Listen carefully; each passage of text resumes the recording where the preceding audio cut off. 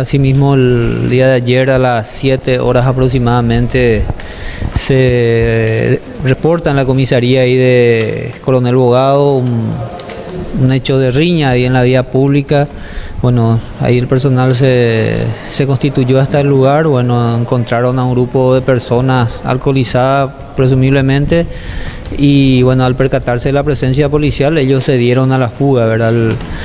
El personal policial, bueno, eh, le persiguió y procedió a la aprehensión de, dos personas, quienes fueron identificados como José Eduardo Miranda Fretes, 21 años de edad, y Jorge Fidel Esquivel Vera, de 21 años de edad también. El, ellos ambos fueron puestos a disposición del Ministerio Público.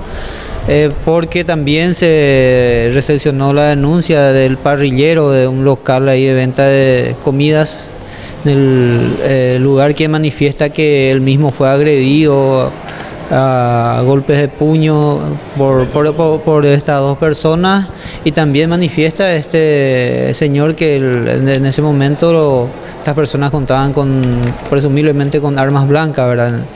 Bueno, el, ya el personal interviniente en el momento ya no, no encontró en el poder de, de, estas personas, pero ahora mismo ellos están a disposición del, del Ministerio Público, solamente eh, se va ver la, la, situación de ellos y el señor Dancy que con qué secuela quedó sí. después del golpe que recibió de parte de estas dos personas. No hay, digamos, una situación bien clara de cómo empezó todo.